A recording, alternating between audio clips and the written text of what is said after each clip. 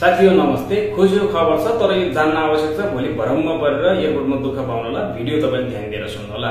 यदि तपाईँ कुनै पनि कन्ट्री जानुभएको छ तपाईँको छ महिनाभन्दा धेरै भइसक्यो। त्योभन्दा जति भए पनि हुन्छ तर छ महिना कटेको हुनुपर्छ।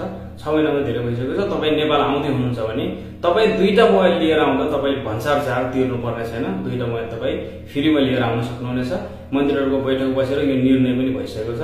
तर पहिला के थियो भने भन्सारको नियमअनुसार एउटा लिएर आउनु पर्ने तर साथमा त्यो पुरानो भनेर लिएर आउन मिल्थ्यो तर रुल्स अनुसार एउटा नै थियो।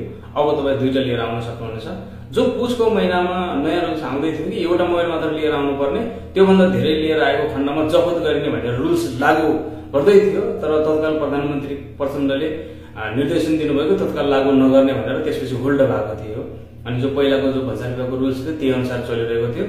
अनि त्यतिखेर होल्ड कसरी भएको भन्नुहुन्छ भने जो राजपत्र गएको थिएन त्यो भएर अब राजपत्र पनि जाँदैछ। अब त्यो गइसकेपछि तपाईँको दुईवटा मोबाइल सजिलोसँग लिएर आउन सक्नुहुन्छ कुनै पनि समस्या हुँदैन। यसमा तपाईँ टेन्सन नगर्दा हुन्छ। तर यदि दुईवटाभन्दा धेरै लिएर आउनुभयो भने जो तपाईँको मोबाइलको प्राइस छ त्यसको अठार पर्सेन्टको हिसाबले तपाईँले ट्याक्सी तिर्नुपर्ने हुन्छ। अठार पर्सेन्ट तपाईँले लगाउनु पर्ने हुन्छ।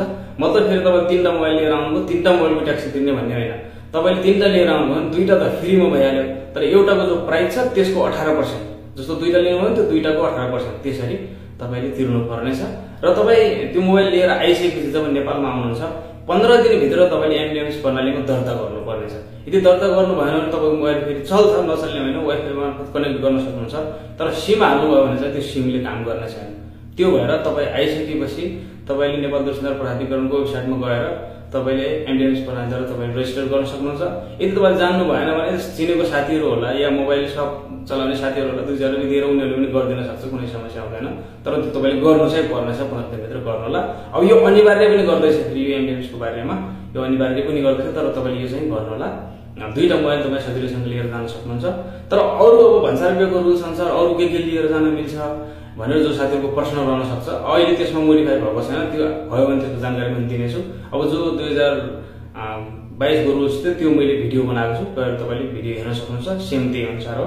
र मोबाइल भने यो अब चेन्ज भएको छ। तपाईँ दुईवटा सजिलोसँग लिएर जान सक्नुहुनेछ। है त?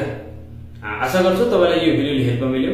यदि तपाईँलाई यस्तो इन्फर्मेसन भिडियो राम्रो लाग्छ भने भिडियो सेयर गर्नु होला अब धेरै साथीलाई थाहा नहुन सक्छ। त्यो कारण यो भिडियो तपाईँ धेरै साथीसँग चाहिँ पुऱ्याउनुहोस् कि साथीहरूलाई सहज होस्। त्यति मात्र। बाँकी तपाईँको व्यक्तिगत विचार। जय नेपाल